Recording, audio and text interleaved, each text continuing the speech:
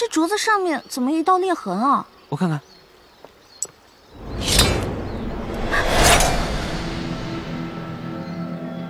小师妹，你这是干什么？叶默生，我现在是要叫你叶哥哥呢，还是要叫你黑狐呢？什么黑狐白狐的？我不懂你在说什么。你别再给我装了，我已经全部都知道了。你跟你爹是鳌拜派在我们明珠谷的奸细。你，你凭什么怀疑我跟我爹是鳌拜派来的奸细啊？那日，我跟朱哥哥埋伏在鳌拜府，本来想跟踪那个奸细。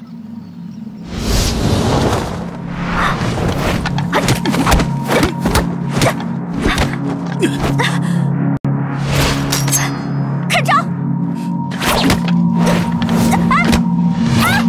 好汉，好汉，你再饶我一次吧！这可是那个奸细的武功实在太高了，我根本不是他的对手。本可以杀了我，可他看清楚我的脸以后，却莫名其妙的放过了我。所以当时我就在想，我跟他肯定是认识的，并且有一定的情谊。后来朱哥哥告诉我，那个人是武师傅唐一手，我也就相信了。可是那时，在平西王府，金钥匙不可能在唐一手的手上。唐一手也并不是什么鳌拜的奸细。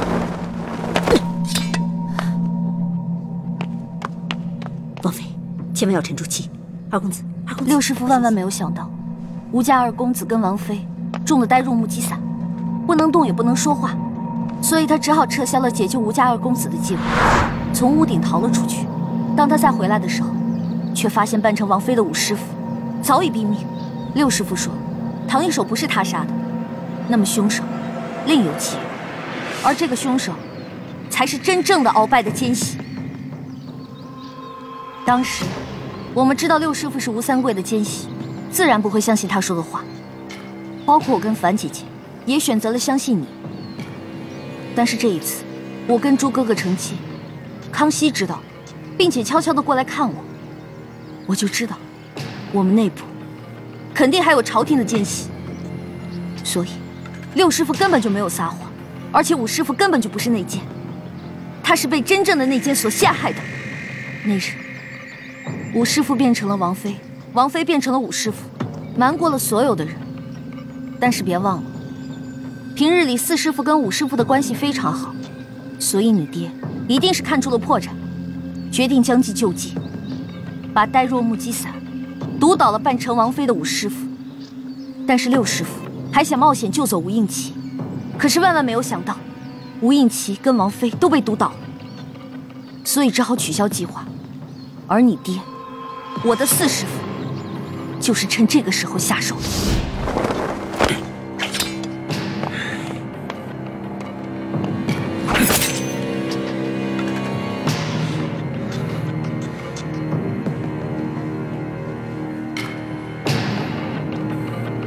你爹杀了武师傅，把自己的腰牌放在了武师傅的身上，把奸细之名栽赃给了武师傅，又把杀害武师傅的罪名嫁祸给了六师傅。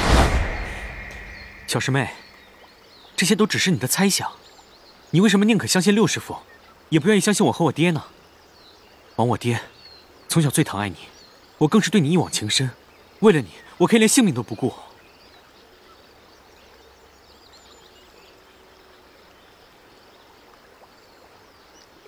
没错，平日里诸多师傅当中，四师傅对我最好，你也有很多次为我出生入死。所以，我一直不曾怀疑过你们。直到那日，你千里迢迢从滇都回到京城，约我出宫，说要带我私奔，因为你知道，我跟雪姐姐还有朱哥哥的身份已经暴露，而康熙已在皇宫中布下天罗地网，所以你才想引我出宫。那是因为樊师姐收到了吴应麒的飞鸽传书，所以我才能提前知道，趁他去通知大师兄的时候，我就想带你私奔。樊姐姐收到吴应奇的飞鸽传书，那是十分紧急的事情。可是当时，你的那辆马车还有马车上的物资，显然不是仓促之间能够备好的。而当时你跟樊姐姐正在滇都执行任务，你却未奉命令自行回了京城。小师妹，那是因为我在滇都待的时间太久，实在太想你，所以才会未奉命令私自回京。至于马车上的物资，其实我早就有带你私奔的念头。所以提前做些准备也在情理之中啊。你到现在还在骗我？那日我们抓住了孙福，你却把他杀人灭口。莫生，那个时候我们都以为你杀他是为了我，可是现在我才知道，你杀他是怕他泄露朝廷中的机密。你真是把我当做偷斧子的人了。所以回想我之前所有的一言一行，全部都成了偷斧子的嫌疑。我杀孙福，那只是因为他在剧院里轻薄了你，我心生愤恨。叶默生，不止杀了孙福灭口这件事，舒婉心也是被你爹故意放走的。舒建的女儿舒婉心，她逃走了。这舒婉心出身在官宦世家，又不会武功，她是怎么从你手中逃走的？你知道的，四师傅有些迂腐，把男女大防看得很重。她一个女孩子家，要走得远远的去方便，我也不便跟着去查看。等我发现异常，赶紧去追，已经来不及了。当时我就觉得奇怪，以你爹的能力。舒婉心一个手无缚鸡之力的弱女子，居然还能从他的手下逃走。但是后来四师傅的解释我信了。叶默生，我跟朱哥哥还有所有的人都那么相信你们父子，可是我们真的万万没有想到，你们却是朝廷的奸细。你们还杀了我师傅，还嫁祸给他。小师妹，你到目前为止所说的一切一切，也都不过是你的猜测罢了。好，就算我说的这些没有足够的证据，那么这两封黑狐给皇上的密信，你怎么解释？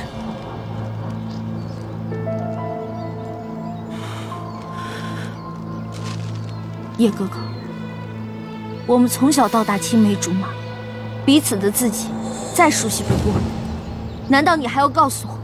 这上面的字是别人仿的吗？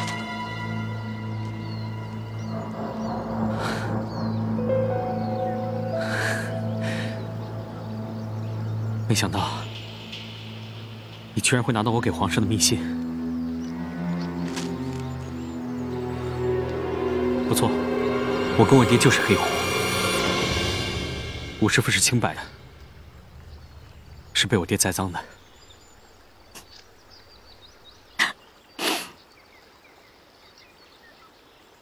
你终于跟我亲口承认了。事到如今，我如果再抵赖，还有什么意义？反倒会让你看不起我。叶哥哥，你虽然亲口跟我承认了，可是从你的嘴里说出来，我的心还是阵阵的泛寒。原来你之前对我的一切。全都是虚情假意，对吗？不是的，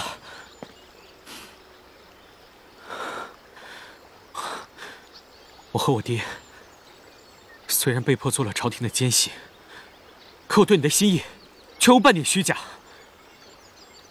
就好像你不得不奉命在皇上身边潜伏，难道说你对皇上的情谊也都是虚情假意吗？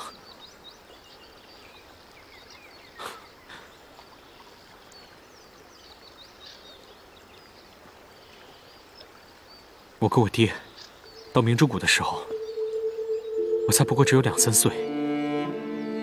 如果之前的事情我完全都不记得了，我从小是跟你、大师兄、雪师姐、樊师姐一起长大的，我对你们是有真真切切的真感情的。直到前年，我爹带我出去执行秘密任务，他突然告诉我，说我们不是大明臣子，是大清子嗣，说我们是。是鳌拜派遣派遣的明珠谷的密探，不，不可能！我不相信，我们明明都是中明联盟的人，怎么可能是大清子嗣？莫生，爹难道还能骗你啊？我们不姓叶，我们姓叶赫那拉。叶赫那拉一族是大清中赫赫有名的大族。当年我阿玛，也就是你爷爷，他犯下了死罪。鳌拜赦免了他，但却要求我伪装成大明臣子进明珠谷潜伏。我不听，我也不信，你不要再说了。孩子，等我带你见了你娘之后，你就会明白，爹说的全是实话。你不叫叶默生，你叫叶赫那拉默生。我娘，我娘不是死在清军的手里了吗？你说这些年你心里一直挂念她，所以一直都没有再娶。那些都是我骗明珠谷人说的谎话。当年我化名叶明章进明珠谷潜伏，谷主陈胜男见我孤身一人，便要为我做媒。我也考虑到，如果长期不成家会被人怀疑，我又不敢私娶汉女，我就只能说我家中已有妻子孩子，要去接妻儿一同来谷，然后就把刚出世的你带到谷中抚养。当时你娘也很舍不得你，但也无可奈何。这么说，我娘她还活着？当然，你娘是大家闺秀，不懂得伪装，容易露出破绽，就没有跟我来明珠谷潜伏，所以我就谎称你娘死在清军手中。这些年我心中放不下你娘，就不愿再娶，这样也省去了很多麻烦。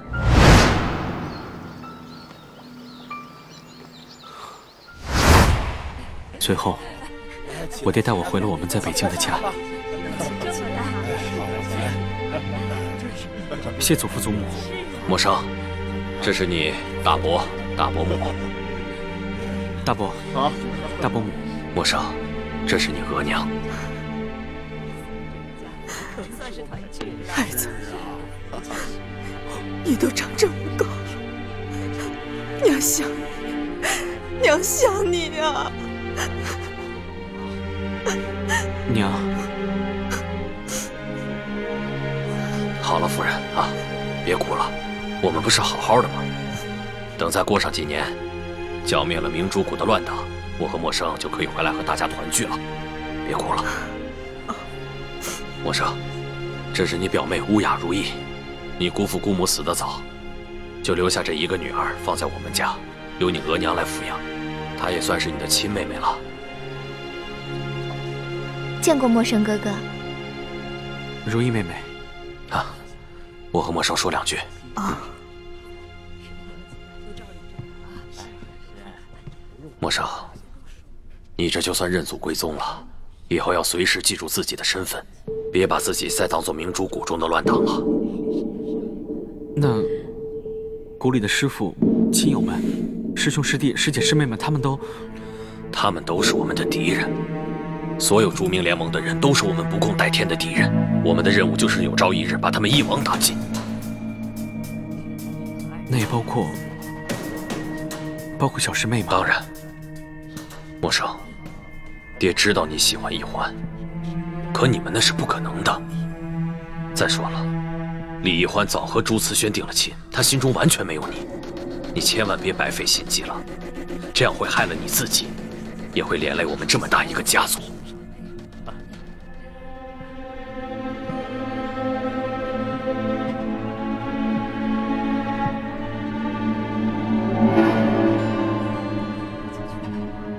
嗯，易欢，如果换做你是我，现在你爹突然跟你说，其实你们是朝廷派来的密探。要让你们把从小在明珠谷里一起长大的亲人，当做不共戴天的仇人，你会怎么办？你知道我当时心里有多难过，多震惊吗？可我没得选。其实你也一样，你不明白自己为什么一生下来就要光复大明。你在七岁那年，莫名其妙的。成为了大明的太子妃，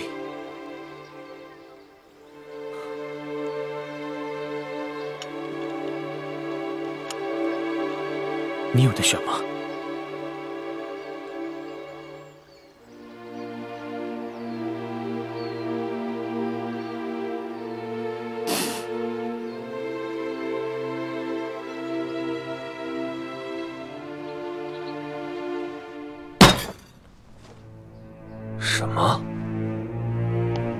知道你我是朝廷的奸细。他从御书房偷到了我写给皇上的密信，没想到皇上还这么宠信他。小师妹好像跟皇上约好了，要劝降师傅们，让他们放弃光复大明，接受朝廷招安。他还说他会暂时为我们保守秘密。哼，易欢呢，毕竟还是个小丫头，她把事情想得太简单了。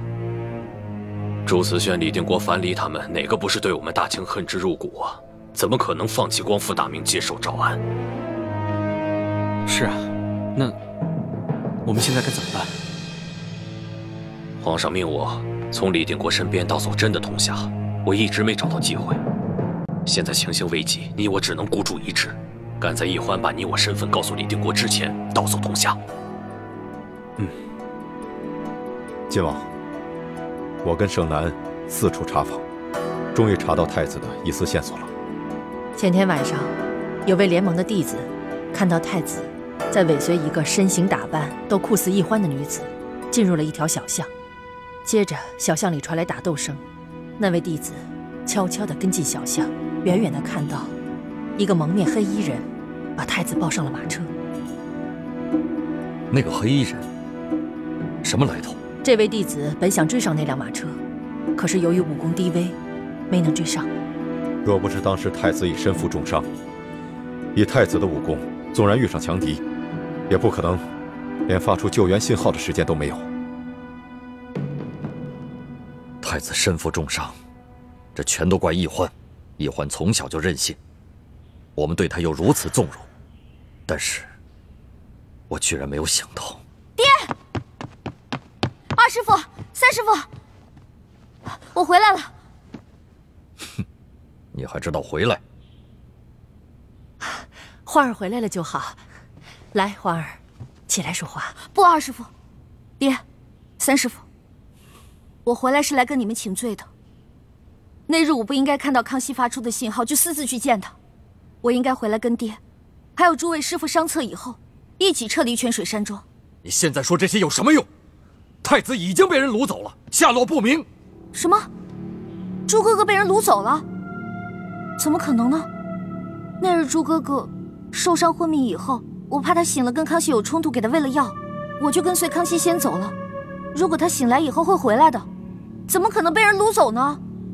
那天晚上，你跟康熙走了之后，太子一直没有回来，在外面借酒消愁。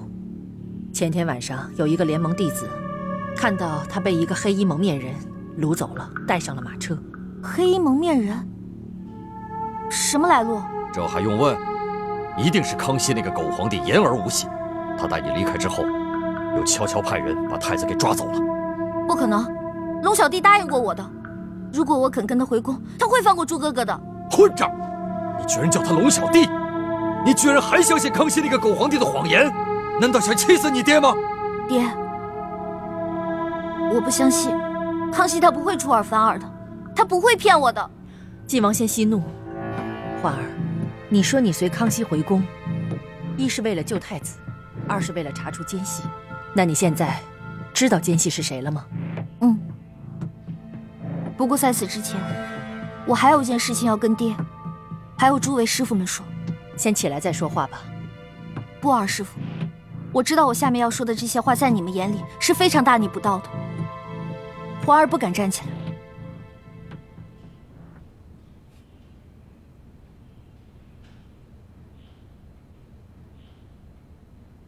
你要说什么？爹。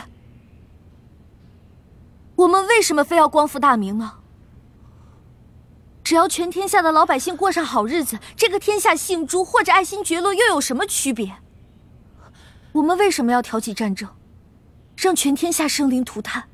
我们为什么不能跟现在的朝廷合作，把我们的才能用在治国安邦上呢？混账！你居然说出如此大逆不道之言！你这次回来是受康熙挑唆，回来招降我们的吧？爹。从小到大，你都教育我，说大清朝廷是如何的残暴无道，朱明天下才是正统。只有让朱哥哥当上皇帝，全天下的老百姓才有好日子过。但是在这大半年里，我跟康熙相处的这大半年，我看到的康熙，他心里不仅有朝廷，还有全天下老百姓和他们的疾苦。他励精图治，他是一个好皇帝啊！住口！晋王，晋王，不要！不可，不可呀！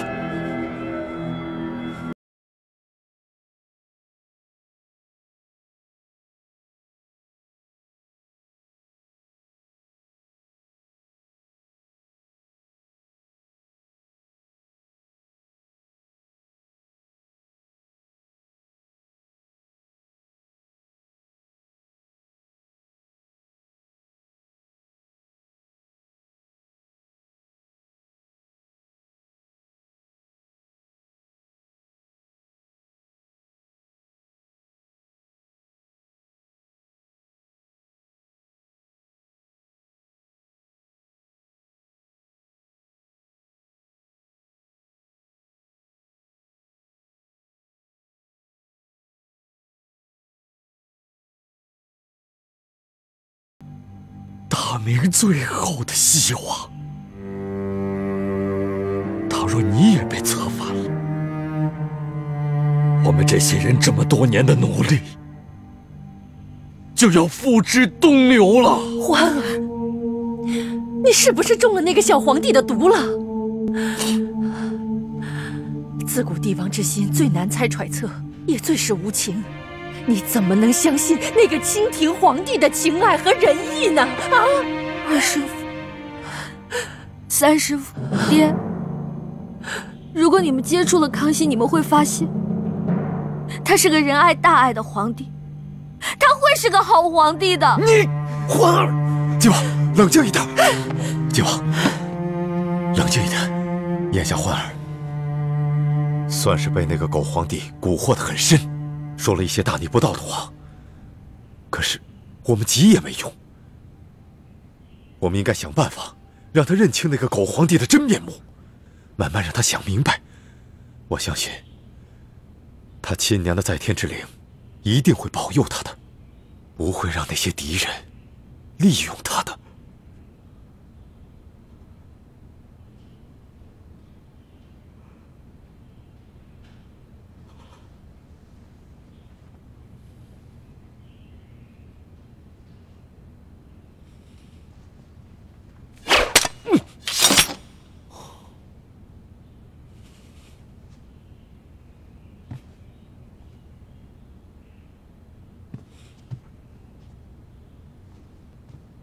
我李定国，愧对先皇，愧对大明啊！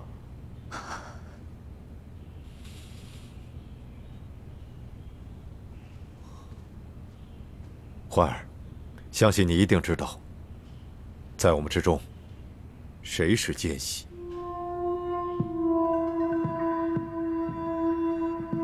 内奸。他是，是你四师傅吧？啊，三师傅，你怎么知道的？撤到这里之后，种种迹象表明，我们剩下的人之中还有清廷的奸细。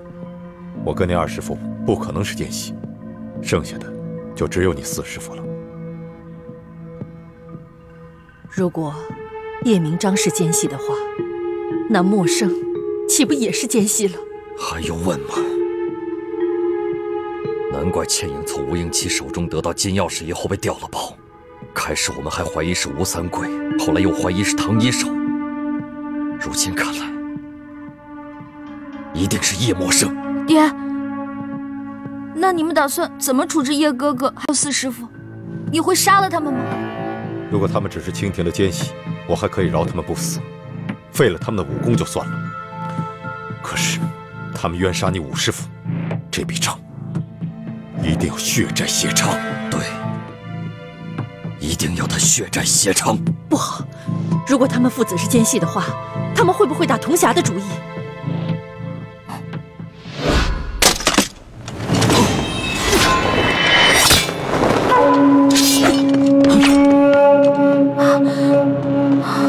老四，你放下铜匣。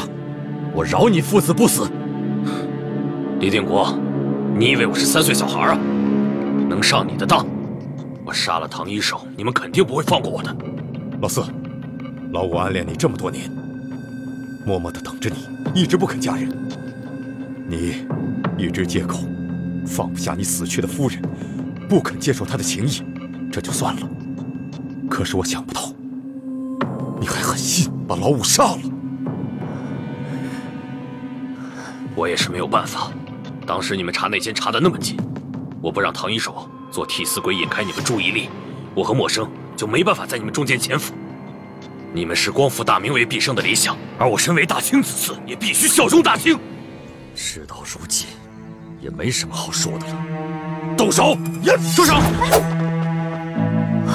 倩影，倩影，都住手！三位师傅，放我跟我爹走，不然我就杀了樊师姐。哎你，呸！你这个奸细，不配叫我师姐。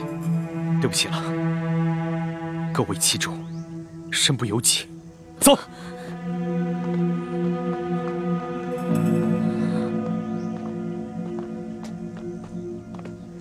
叶哥哥，你真的忍心杀了樊师姐吗？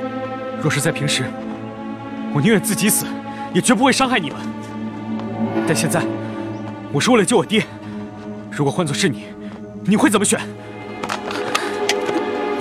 我数三声，如果你们不肯放我们父子走，我就杀了天影。休想！叶明章，一、二，你敢杀倩影，我把你碎尸万段。三，慢，慢着，慢！叶明章，你也是看着倩影长大的，难道你真忍心杀了他吗？只要你们肯放我们父子走，我保证，倩影毫发无伤。你不就是想要人质吗？好，我来当你人质。相公，只要你放了倩影，你要杀要剐，任凭你处置。爹，不要！倩影，你是爹的女儿。你小的时候，爹为了救易欢，害你被熊抓毁了容。这件事在你心里一直留下了很深的阴影，而在爹的心里也非常愧疚。后来吴英奇把你的脸治好，可爹还是觉得对不起你。这次就让爹来偿还吧。让爹来做人质，啊！爹，女儿早就不恨您了。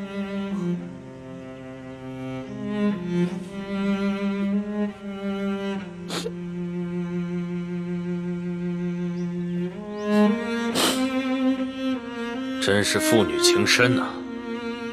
李定国，还是你够狠！当年为了保护永历帝，你居然亲手射杀了自己的妻子女儿。来成就你自己的愚忠。今天，你是想用倩影，还是想用樊兄来成就你的另一番功绩呢？爹，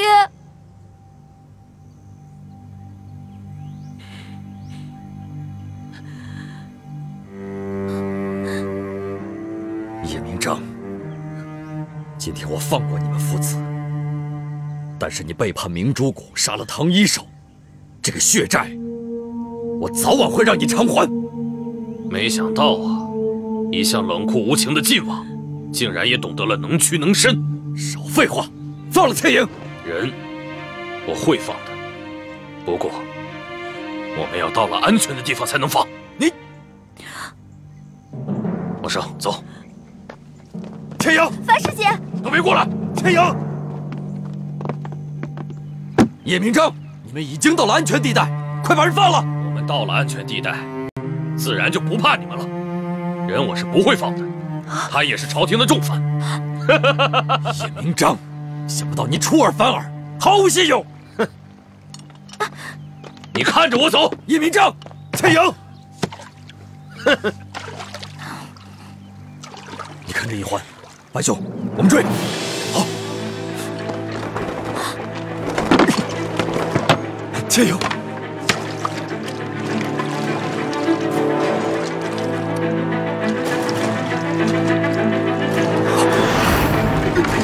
相公，爹，义父。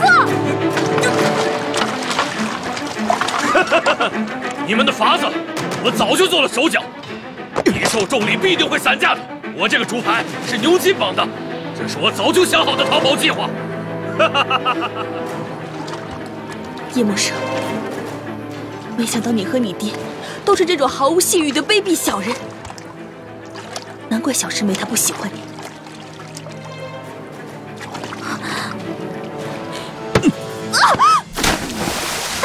倩影，倩影，倩影，义父，混蛋！爹，既然你已经安全了，我们就应该信守承诺，放了樊师姐。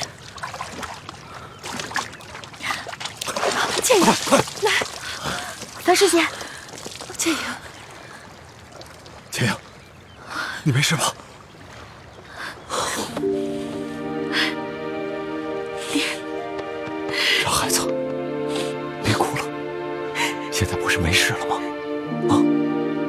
原来以为你心里没有我，没想到你这么爱我。傻孩子，你是爹的女儿，爹怎么会不爱你呢？爹娘都很爱你。啊，现在没事了啊？没事吧？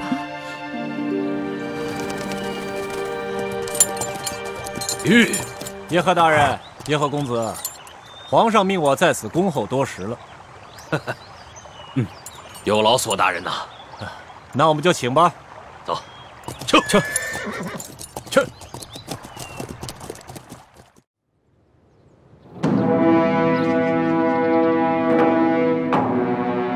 一会儿太皇太后和皇上召见咱们，你尽量少。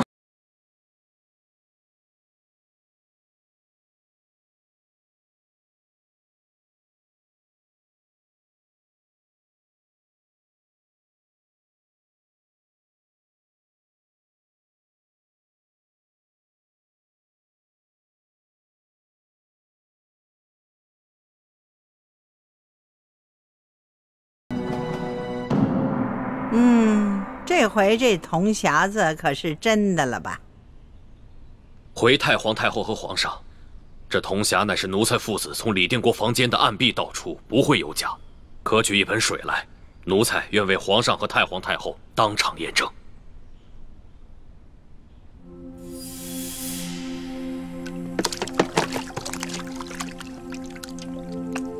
皇上，请看，这真正铜匣上面的龙，一旦入水，便如同活了一般。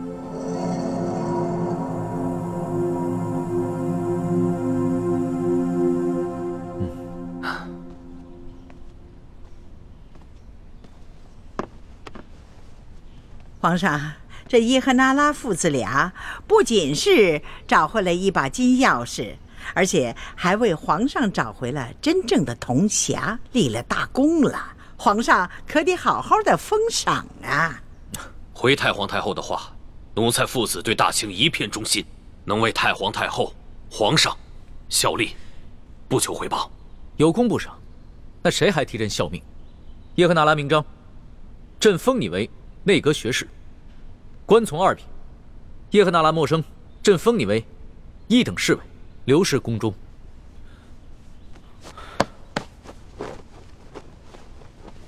谢皇上隆恩。不仅他们父子俩理应封赏，还有一个人你也该赏赏。太皇太后宣答应，乌雅如意觐见。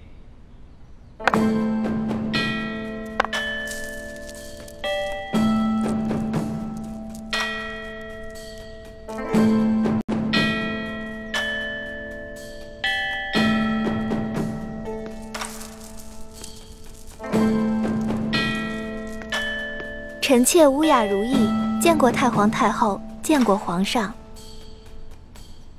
平身吧，都平身吧。谢太皇太后。谢太皇太后。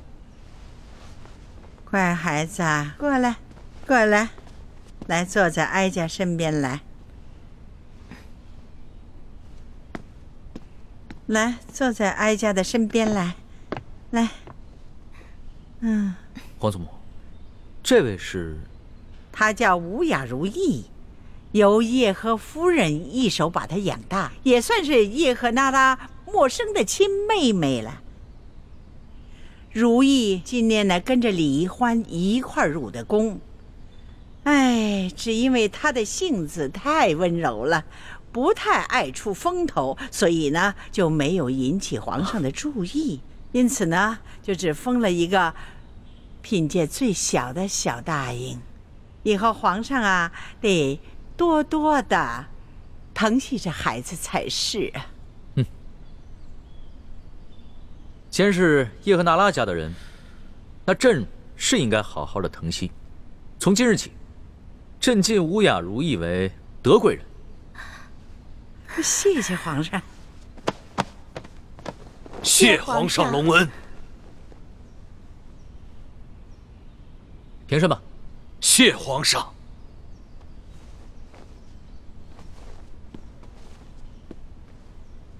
嗯，再给皇上和哀家说说，李欢劝降李定国等人的归降之事。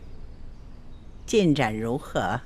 回太皇太后的话，李易欢归来之后，并未向李定国等人劝降，而是拿着犬子默生写给皇上的密信，向李定国等人揭发奴才父子是朝廷的奸细，逼得奴才父子不得不强抢铜匣。那其中过程真是险象环生。幸亏樊倩影没有识破犬子的身份，被犬子突然袭击擒住作为人质，奴才父子才有命活着回来。这易欢，他只是揭发了你们父子的身份，却并未劝降。啊，不错，李欢告诉李定国，说他之所以跟着皇上回宫，一是为了保护朱慈轩，二是为了查出内奸。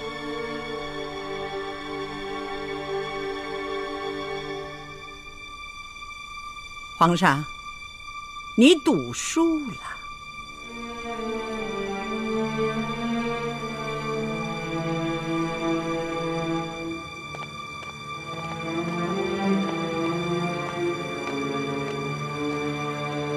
默生，你怎么搞的？刚才皇上封赏咱们父子和你表妹如意，你脸上为什么连喜色都没有啊？我甘心为朝廷卖命，不过因为我是阿玛的儿子，身体里流的是叶赫那拉氏的血，并不是为了什么封赏。可你如此，岂不让太皇太后和皇上起疑心呢？我顾不了那么多了。阿玛，我不明白，小师妹明明已经劝降了。而且还差点被大师傅杀了，你为什么还要撒谎？你懂什么？如果一欢劝降成功，那咱们父子十几年苦心潜伏岂不白费？那还有什么功劳可言？何况，太皇太后曾暗中给阿玛下了懿旨，让我离间皇上和易欢的情感，难道阿玛还敢抗旨？这也是太皇太后的懿旨。不仅如此，让你悄悄抓住朱慈轩关进天牢，也是太皇太后下的懿旨。默生，你要记住，以前咱们身份没有暴露，还可以和明珠谷的人保持一份感情。现在咱们是大清的臣子，再也不能和明珠谷的人有任何瓜葛。你也不能称他们大师傅、小师妹了，否则，你将给叶赫那拉家族带来灭顶之灾。我们今后要建功立业，扶持你表妹在后宫上位才是。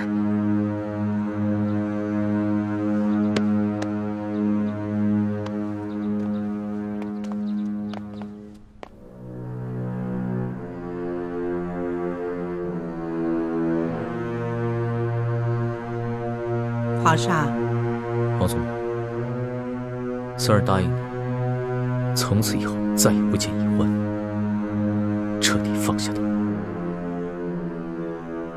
但是皇祖母也要答应孙儿，不论任何情况，都要留他一命，不要伤害他。皇上，咱们祖孙俩一言为定。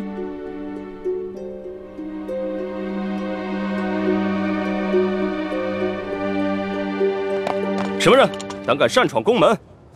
我乃皇上的笔墨侍书，这块腰牌是皇上亲赐的。你等一下，哎，能让他进去吗？听说这个职位撤销了。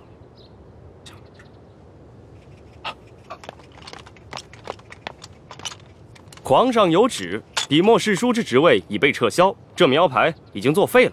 你是说，皇上不肯见我，连宫门都不让我进吗？没错，听说你以前很受皇上恩宠，可现在皇上连见都不想见你一面，还不快走！再敢在宫门口喧哗，我等就对你不客气了。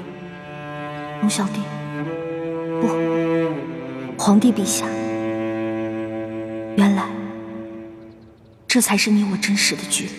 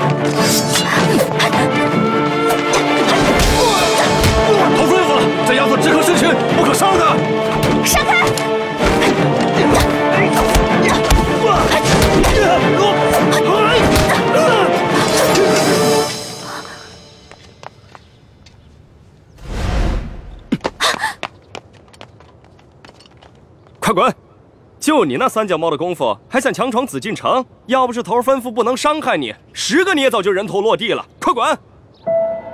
好，龙小弟，你不见我是吧？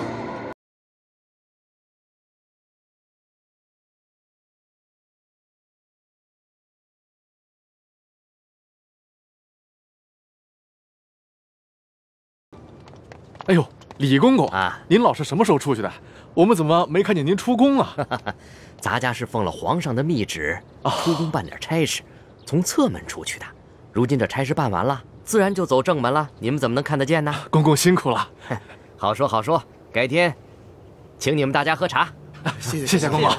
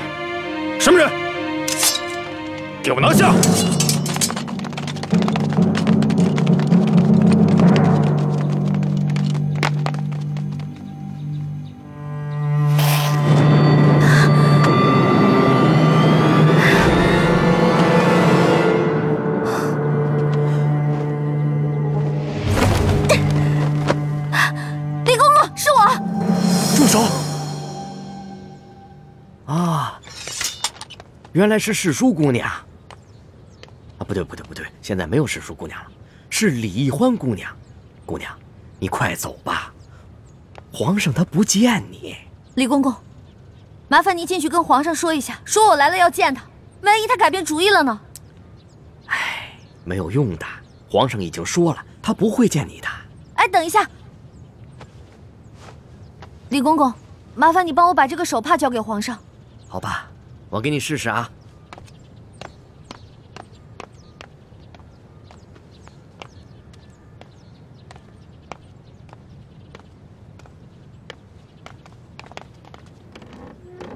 龙小弟，以前我可以随时见你，我的每一次出现都会给你带来惊喜。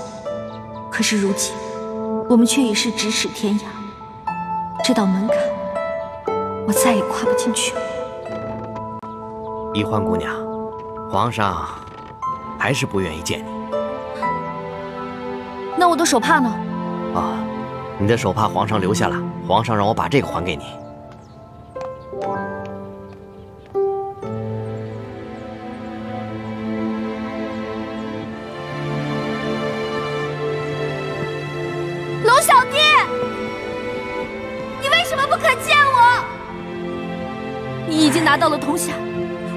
说没有利用价值了，是吗？你为什么要骗我？你为什么不肯放了我朱哥哥？为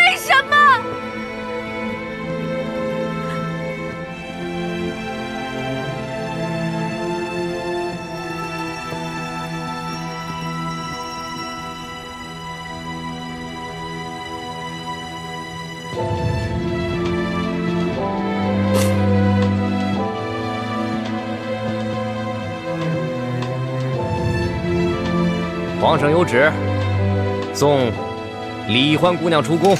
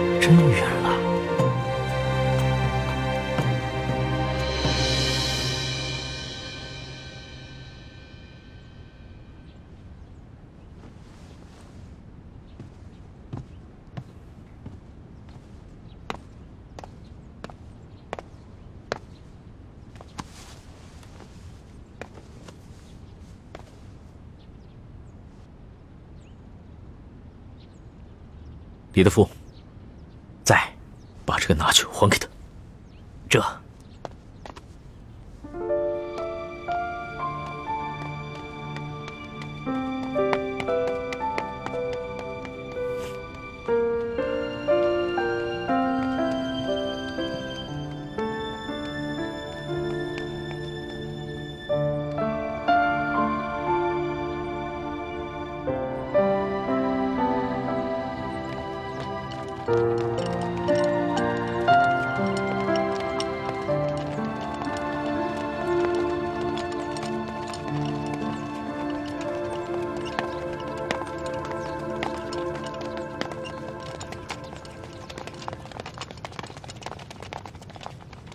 你们这是干嘛呢？义父，这李易欢假扮成李公公闯进宫来，说要见皇上，被皇上轰了出去。没想到他居然一下子晕倒了。哦，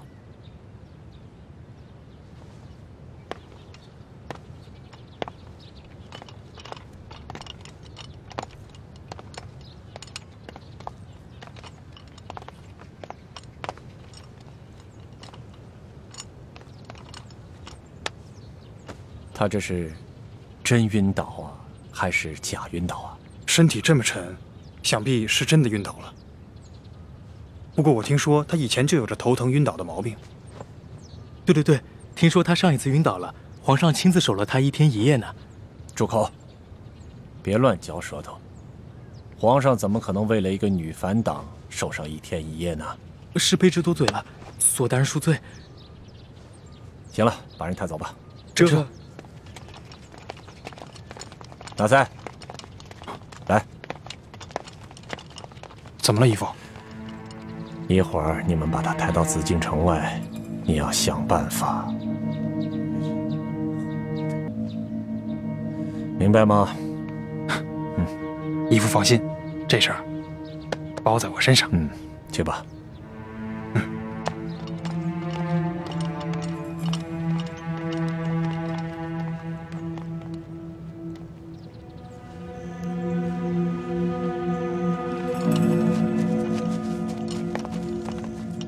你们先下去吧。行。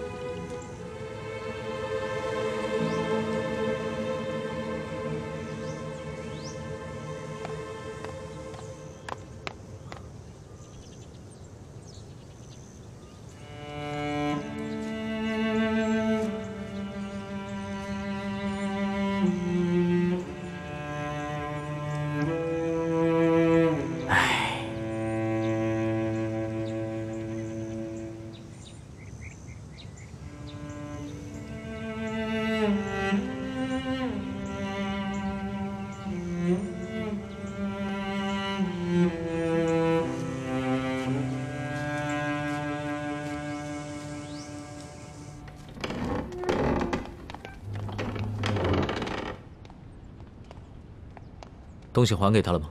回皇上的话，奴才已经把荷包放在了易欢姑娘的身上。如果她还能醒过来的话，应该能看见。你说什么？她不是装晕的吗？她不应该出了宫就活蹦乱跳的吗？皇上，易欢姑娘这次可不是装的，她真的晕倒了。听说她今天闯了两次宫，跟侍卫们交了两次手，可能是用力过度，身体发虚，诱发了她头痛的隐疾。奴才追出去以后，发现他躺在树下。奴才过去，探了一下他的鼻息，还有点微弱的气息，也不知道还能不能醒过来。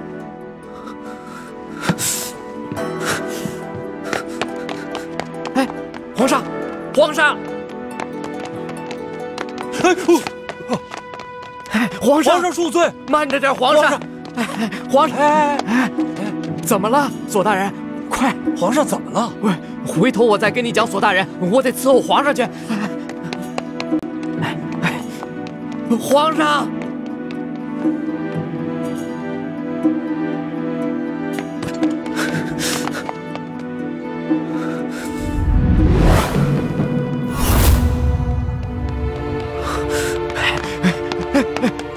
皇上，慢点儿！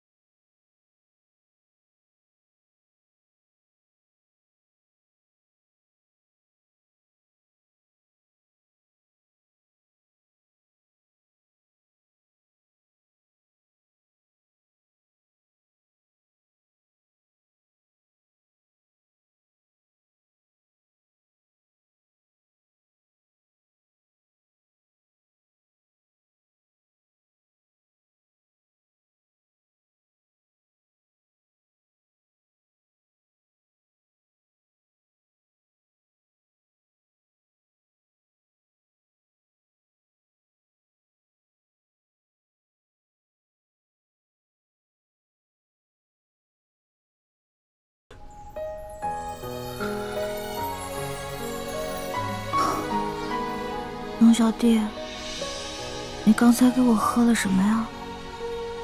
还能是什么？当然是毒药了。毒药不是甜的吗？喝的这个不光苦，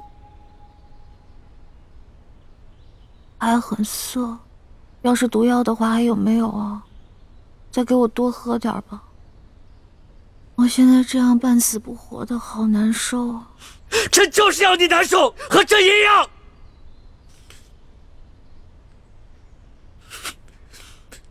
主发誓说好的，有福同享，有难同当。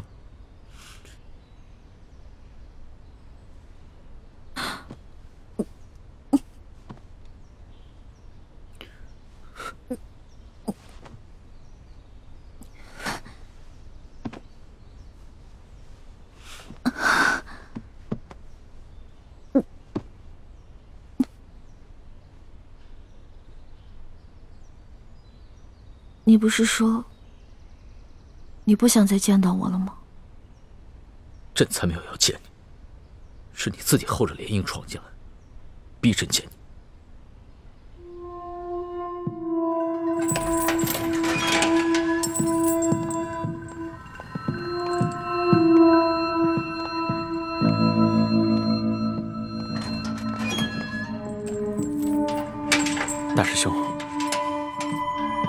别恨我，我是没得选。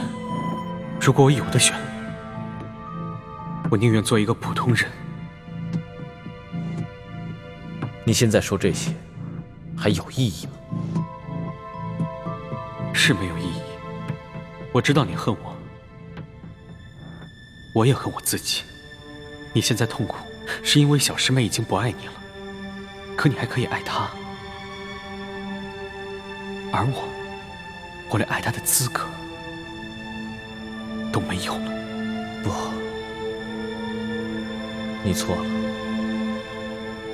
我也没有资格去爱他了。你怎么会没有资格爱他？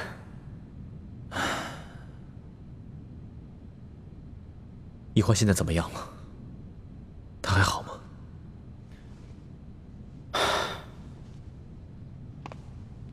他答应皇上，要回去劝降你和师傅们。皇上放他回去了。想不到，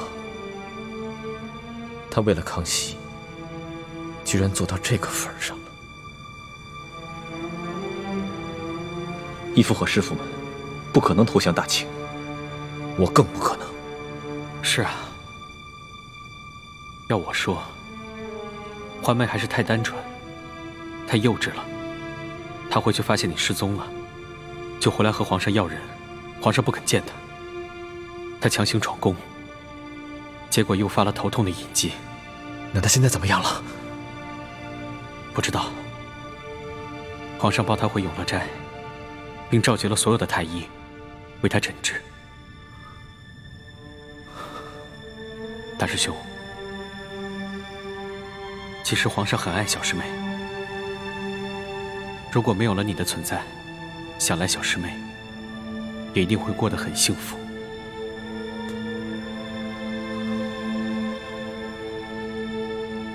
我明白了，反正我也活不了几天了。叶师弟，易欢在这宫里无亲无故的，又是那样一个性子，就算有康熙的宠爱，也会危机四伏。我死了以后，还望你对易欢多多照顾。你放心吧，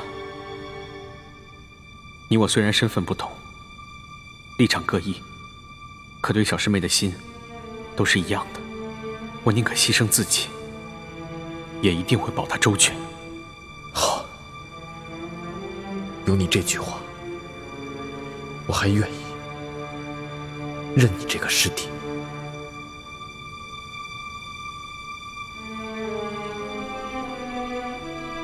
回去之后，是否有履行对朕的承诺，劝降李定国等人？当然。骗子！那晚我跟你回宫以后，你是否履行了对我的承诺，放得住哥哥？当然。骗子！所以，你才会找借口跟我翻脸是吗？朕要和你翻脸，还需要找借口吗？你本就是反党，既然无心归降，那你就是朕的敌人。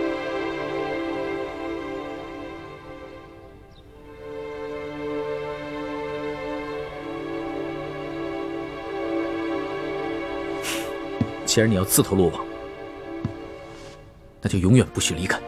从今以后，你只能待在永乐斋，哪儿也不许去，除了朕，谁也不许见。那你不如把我的双腿砍掉，顺便再拿链子把我给锁上，不就行了吗？朕不会再听你的话了。你说的对，朕不再是你的龙小弟，你也不再是朕的老大。朕不会砍了你的双腿，也不会用链子把你锁起来。朕有自己的主意。来人，奴才在。传旨，把整个永乐斋的门窗都用铁栅栏封起来。这。